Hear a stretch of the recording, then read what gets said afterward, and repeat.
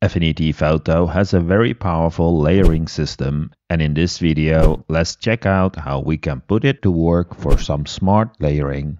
Let's demonstrate this by creating a custom threshold effect using adjustment and blending on the left image. As I have created a group, all the adjustments I will be adding will be clipped to the image layers in the group.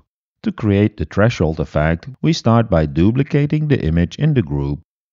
Next, we'll add an invert adjustment and then change the blend mode of the invert adjustment to hue. Let's move the invert adjustment into the duplicate image so that the adjustment is only applied to the parent image. When we change the blend mode of the inverted hue image to hard mix, we get a 50% threshold effect. Pretty cool. To demonstrate that this is indeed a 50% threshold, I'll apply a threshold adjustment to the right image. As you see, the result of the threshold adjustment in 50% is exactly the same. I'll remove the threshold adjustment from the right image and see how we can apply the same steps from the left image in a much smarter way. Instead of duplicating the image, I'm immediately going to apply the invert adjustment. Just like on the left example, I set the blend mode of the invert adjustment to hue. In the left example, I had applied the inverted hue in hard mix blend mode. To achieve this without a copy of the image, we can group the invert adjustment by using the context menu or by pressing Command or Ctrl G. This basically will allow us to apply an additional blend mode on top of the inverted hue adjustment by utilizing the blend mode of the group.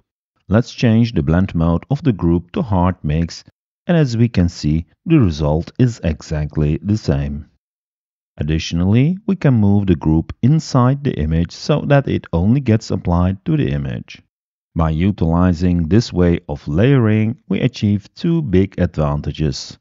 First, there is no copy of the image needed, which especially when working with pixel layers saves resources in memory use but also in file size. Notice how the file size is doubled when we have a duplicate of a pixel layer. The second biggest advantage is that the effect can be easily copied over to another layer or document. I can just copy the group, switch to another document and then paste the group on top of a layer.